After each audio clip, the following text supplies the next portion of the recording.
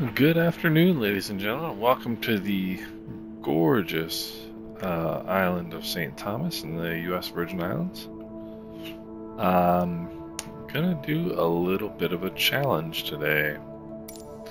Flew the Islander the other day for the first time in quite a while, and uh, it was a lot of fun. So I thought I'd I thought I'd get into the plane again today and see what kind of fun we can have. Let's go fuel valves on.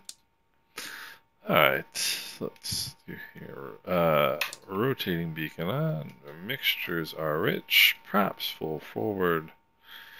Mm, master switches on. Avionics master on. Let's go. Uh, fuel is on.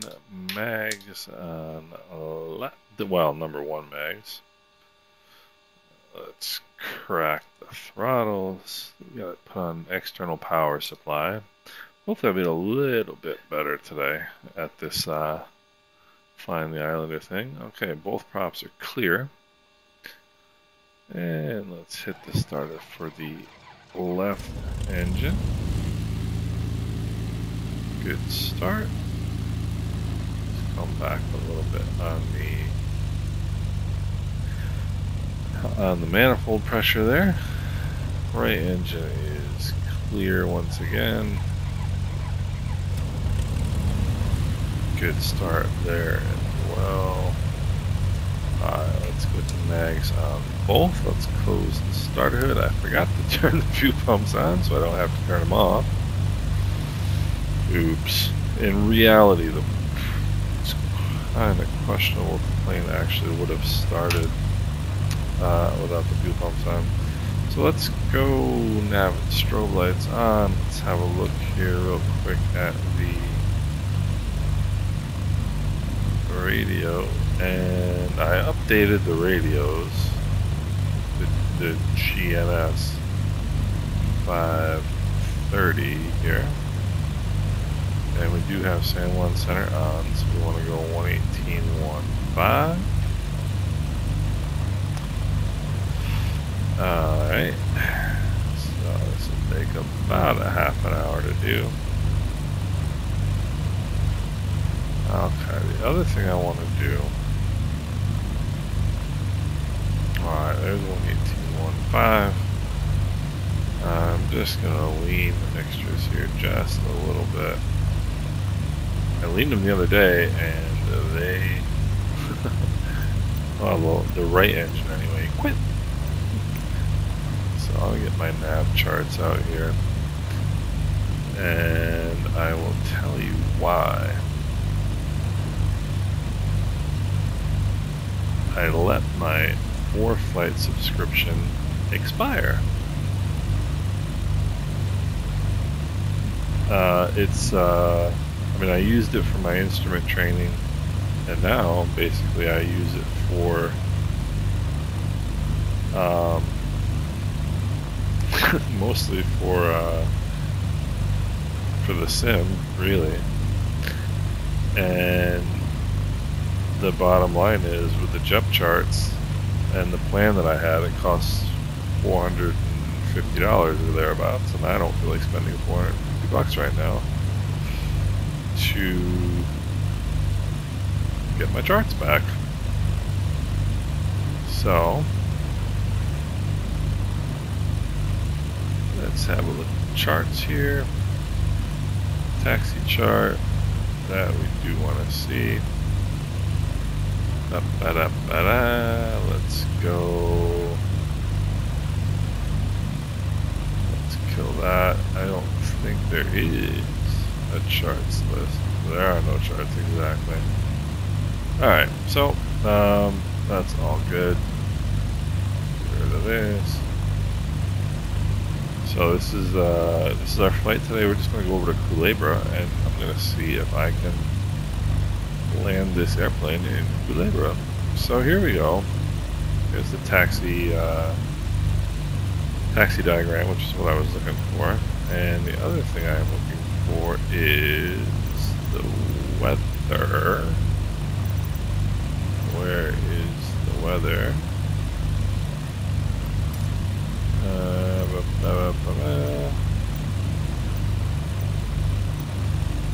Forgive me because this is.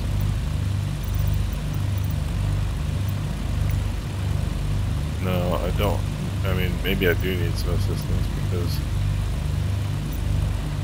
clearly I have no idea what I'm doing. I know there's a way to get.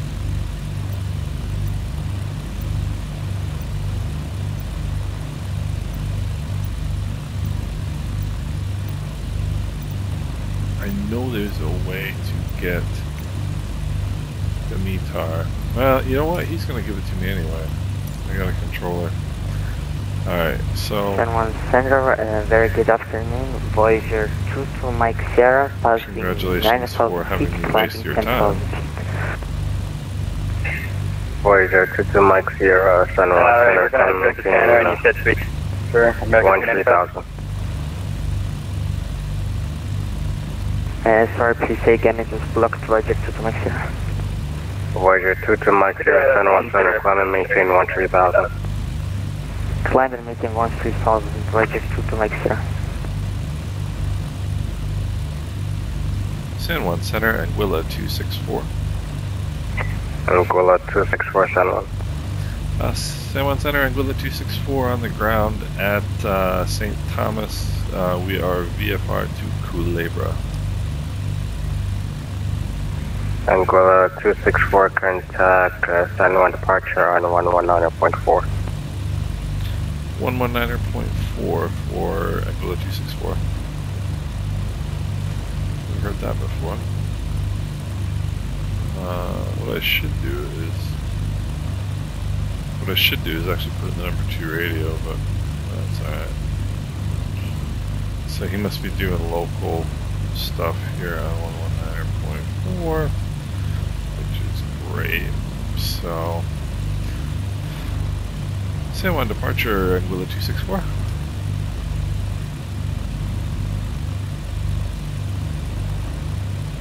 Uh, aircraft calling San Juan departure. Say call sign again. Anguilla 264. Anguilla 264 San Juan departure. Good afternoon. Good afternoon, departure. Anguilla 264 on the ground at St. Thomas. We are VFR to Culebra. I'm ready to taxi. Willa 264, uh, squawk 1406. And uh, runway 10 is in use. Uh, wind 06013, altimeter 29906. Okay, squawking 1406, altimeter 29906, and runway 10 is in use. We are ready for taxi. Anguilla 264. Anguilla 264, runway 10, taxi via Foxtrot, Echo, Alpha, cross runway uh, 10 at Foxtrot. Okay, Foxtrot Echo Alpha and cross runway 10 at Foxtrot for Anguilla 264. Okay, mixtures are leans, turn on the taxi lights. Uh, let's turn off the uh, turn off the external power supply. Alright, so time to get moving here. That only took about 10 minutes. You can always tell commercial pilots because they don't mind letting their engines run. Whereas us, uh, when, when you're paying the bill yourself, the fuel bill that is, then you don't, uh,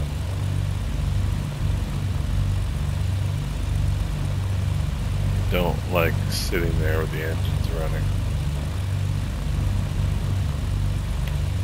So, American 395, wind Take 07017, runway 10, clear to land. American 395, clear to land, runway 10, sir. Uh, there's somebody on the runway.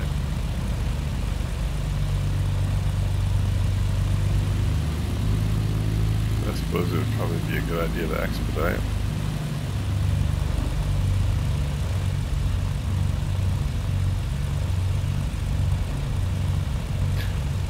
So, I was watching the video of my landing in Culebra. and It wasn't bad, but it's it's sort of like uh, it's sort of like St. Bart's in that there is a. I mean, I'm sure there's a way.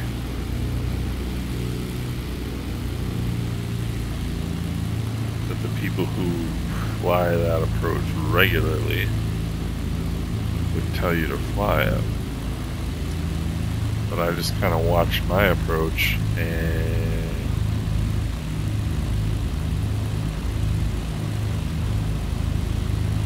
made my own sort of determination as to what would make the most sense. So speaking of what would make the most sense, he is bigger than I am. I'm assuming that's live traffic otherwise. Uh, okay, yeah, this isn't gonna work as well as I thought.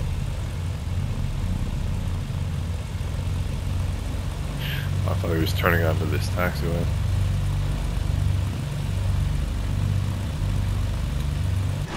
So this is the pay where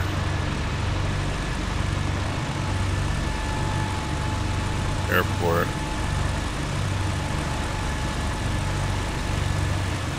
For St. Thomas, and it's really pretty nice.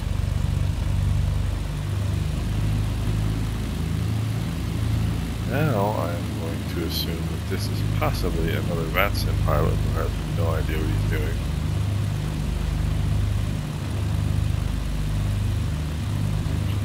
Always possible.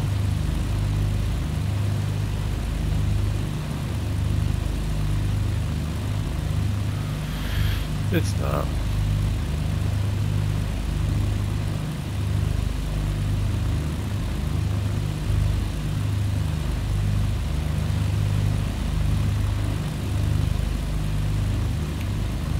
So anyway, I have a look at my approach, and I think I need to uh, come in at a bit of a uh,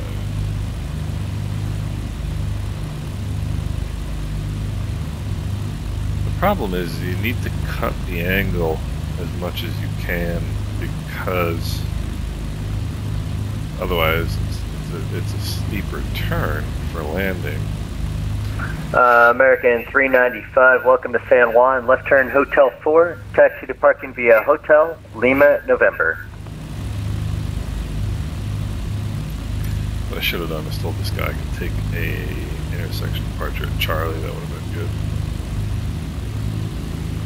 But as they say, runway runway behind you is one of the three most useless things in aviation.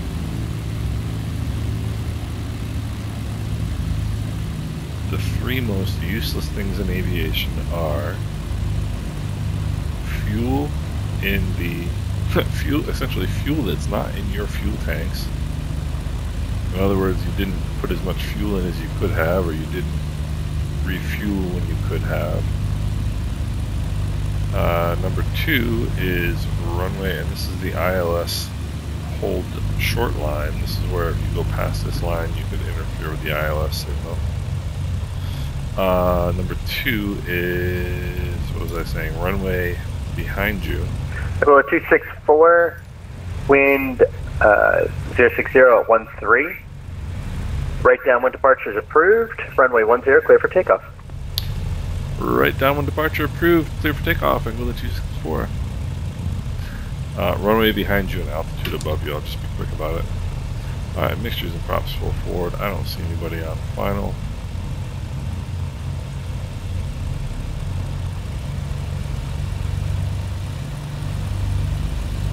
Okay, nobody on final. Let's get on center line here. Alright. So, heading indicator checks with the runway number, that is good. Takeoff power is coming in. Takeoff power is set. Engine instruments are in the green. Airspeed is alive already. Kind of hard to believe. but I feel like that airspeed indicator is not correct.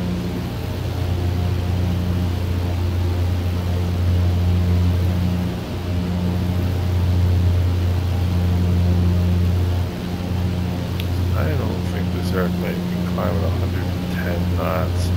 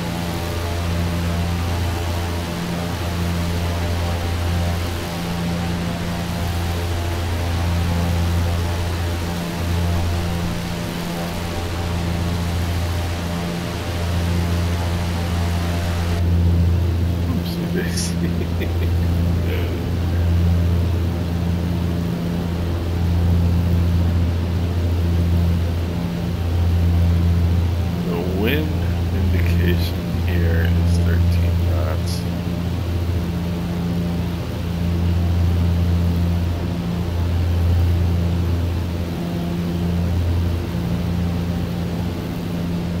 Hello, 264, say altitude requesting. Uh, Willow 264 go at 3,000. Angola 264, uh, maintain VFR at 3000, advise of any changes and clear on course. You're on course, Anguilla 264.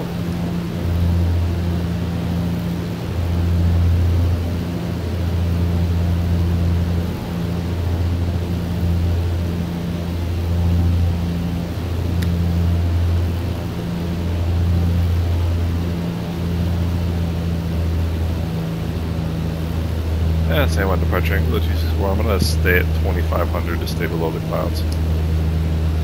Angola 264, copy that. Uh, maintain VFR at or below 2500, uh, or at 2500, advise of any changes. Roger, Anguilla 264. Alright, let's go off.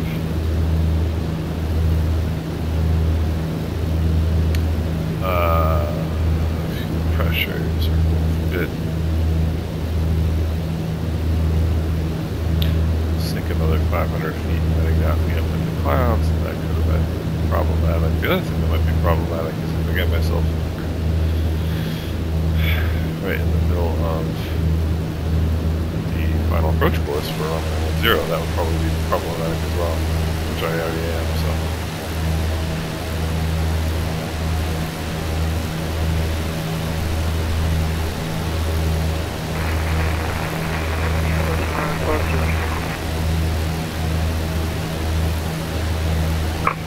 Delta 120, San Juan departure. You are cleared to Jacksonville International Airport via the Oconee 3 departure. SAPO transition that is filed.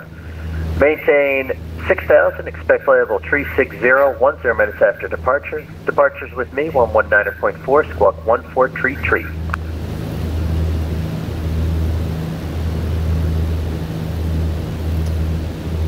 tree tree. Airway Jackson, your flight Anticipate. departure capital transition uh, files, maintain 6,000, expect to use 13 minutes after. Uh, departure with me, squawk Anticipate 14 that tree. he's double to aid. Delta 120 readback is correct. Push and start at your discretion. Advise when ready to taxi. Expect runway 8 for departure. Looks like we're we're quite quick at the taxi. I'm just gonna dial that in just in case.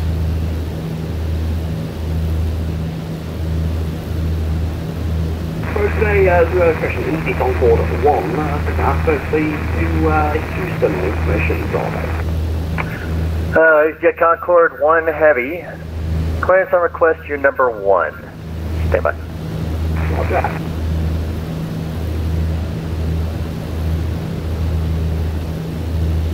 So, another stunningly beautiful day.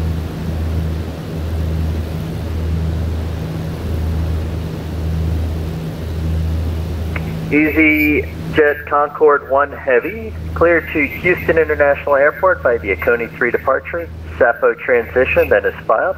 Maintain 5000, expect flight level 60010 minutes after departure.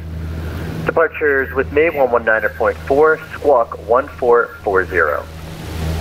What's Houston, Havana, Code Fox, Sub Transition is filed. Maintain 5000, step level 60010 minutes as far as occupancy 119.4, squawk 1440 is onboard 1 heavy. EasyJet Concorde 1 Heavy, readback is correct. Push and start at your discretion, advise Oh, when ready yeah, to taxi, sweet. expect Um, runway 8 for departure. Signal mate, is there we can get a uh, corner 55 to level 280 please, start at 25. Uh, EasyJet Concorde 1 Heavy, sorry, can you repeat that a little slower? Sorry, uh, yeah, do you mind if we can get a uh, unrestricted flight level 280 please, we can start off this flight high a bit earlier. Uh, we'll work that out with center. Stand by. Thank you very much.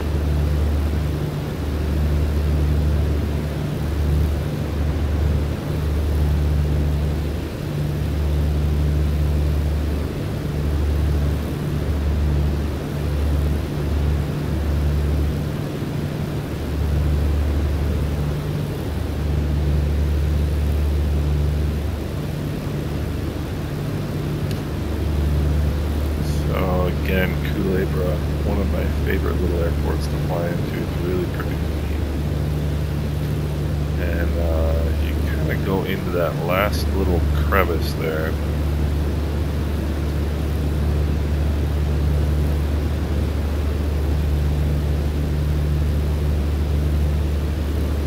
And San Juan departure, Anguilla 264, uh, VFR descent to Culebra.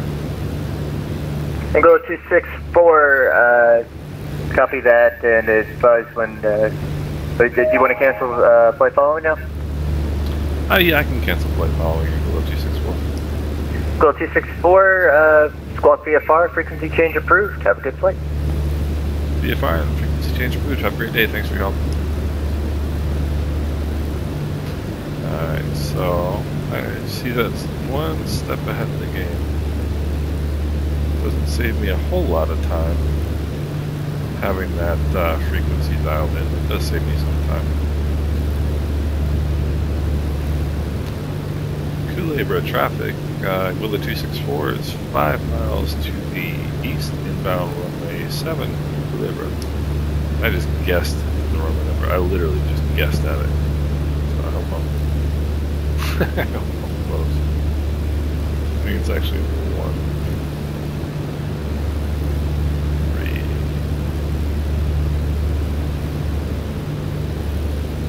Uh,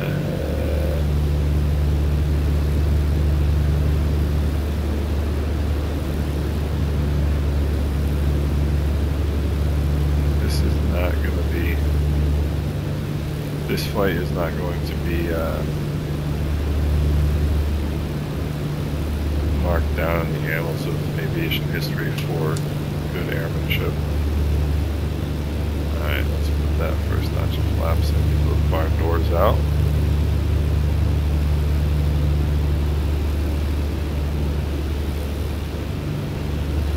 Alright.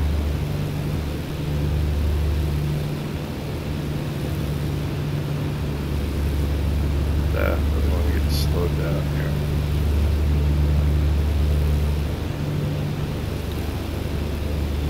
Labor traffic in Gula 264, uh, 3 mile left base for runway 07 Labor.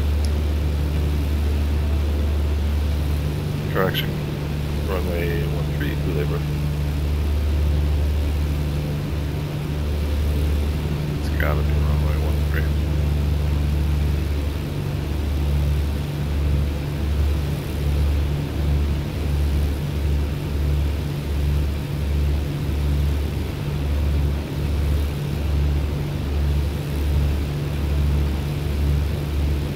Alright, fuel pumps are on, mixtures are rich.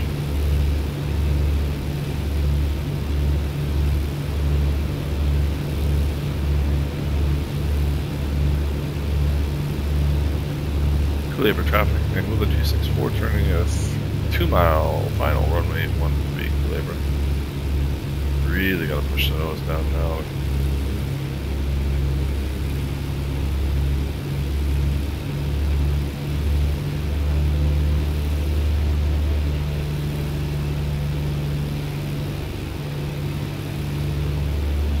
Okay, this is gonna get interesting.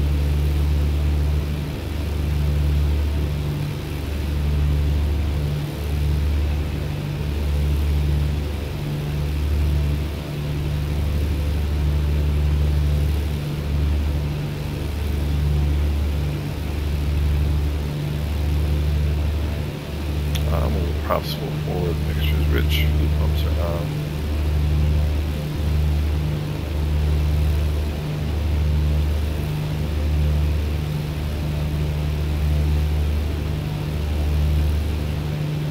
Culebra traffic, Angola 264 short final runway 13 Culebra.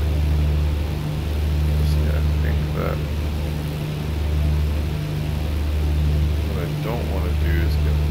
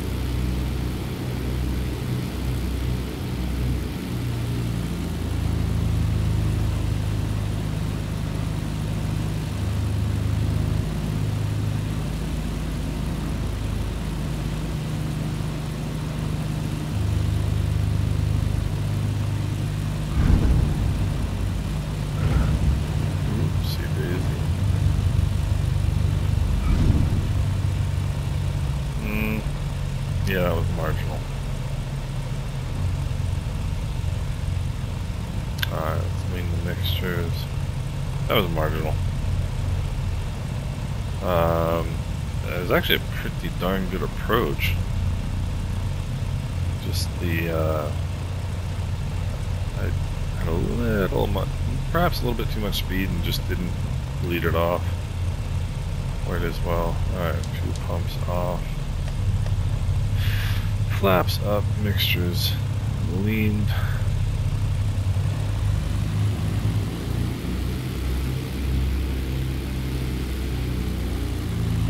Airplane is so tough, basically, that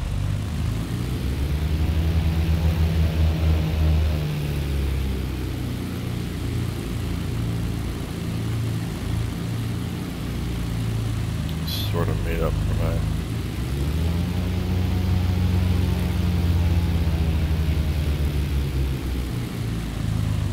made up for my shortcomings. Alright, mixtures to idle cut off. Off. Master switches off. Master and battery off. Lights off. Parking brake set. Um, not too bad. Um, certainly uh, pretty good approach actually, but can certainly do a little bit on the landing itself. So that was fun though.